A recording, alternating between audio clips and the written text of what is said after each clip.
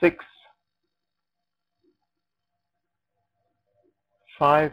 The most frustrating kind of error uh, in ActionScript is basically that which you make by yourself typing in the wrong word instead of the right word and then by accidentally typing in that and you know that that does not exist. So you actually could avoid that by writing in your script slowly but surely. Okay so now I've got all my 12 movie clips all the 12 instances that I've created on my stage placed inside my array clips.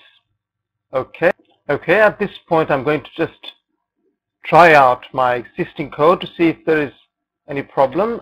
In fact there is no problem. I only think that since the condition that I had originally specified was not met it went and moved my clip placed at index number 0 150 pixels from the top. Okay so basically the code is fine. There's no mistakes. There are no mistakes here. Okay. And in fact if, as I had said before if you were to make a mistake and uh, had written for example 14 instead of 4 and flash going through this piece of code would realize that this does not exist and it would give you an error. So as you can see it says access of undefined property red underscore 14 underscore mc so basically you have to be careful when you write in your code.